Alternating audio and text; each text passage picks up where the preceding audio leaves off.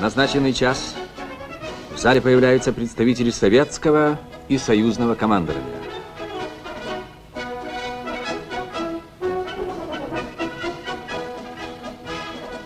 Подписание будет происходить в присутствии многочисленных представителей командования фронта и гостей союзных держав.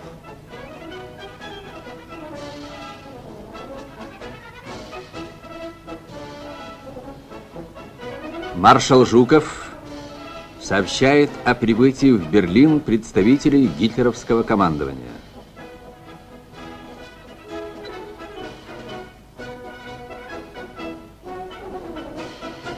Маршал предлагает вызвать немецкую делегацию для подписания акта о безоговорочной капитуляции.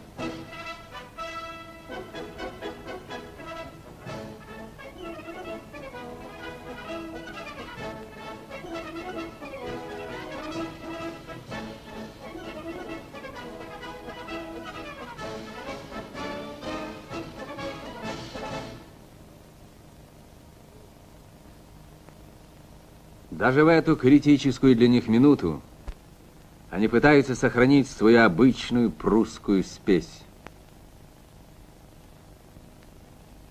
На вопрос маршала Жукова, известны ли представителям германского командования условия капитуляции, Кейтель подтверждает, что условия капитуляции им известны.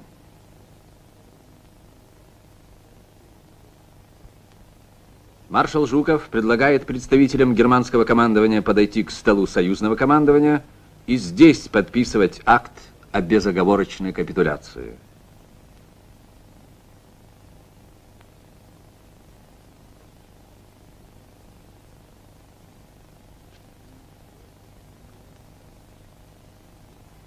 От главного командования вооруженными силами Германии капитуляцию подписывает генерал-фельдмаршал Кейтель. Гитлер и Геббельс утверждали, что 18-й год никогда не повторится. Да, 18-й год не повторился.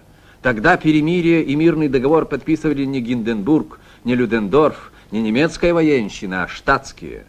На этот раз три германских командующих в столице Германии Берлине собственноручно расписывается в своем полном поражении. Капитуляцию подписывает адмирал Фриденбург.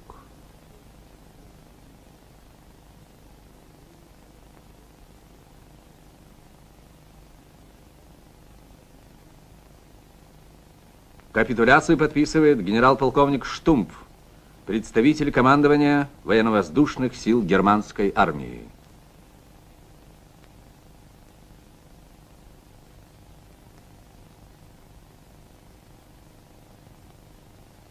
Акт о капитуляции скрепляется подписями представителей держав-победительниц. Первая подпись представителя советского командования. Самое тяжелое бремя в этой войне пало на долю Красной Армии. Она приняла его и геройски донесла до конца. На почетных страницах войны будут увековечены также подвиги наших соратников по оружию – английских, американских и французских воинов.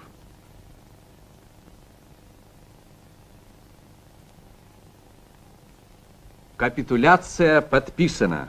Немецкие представители могут покинуть зал.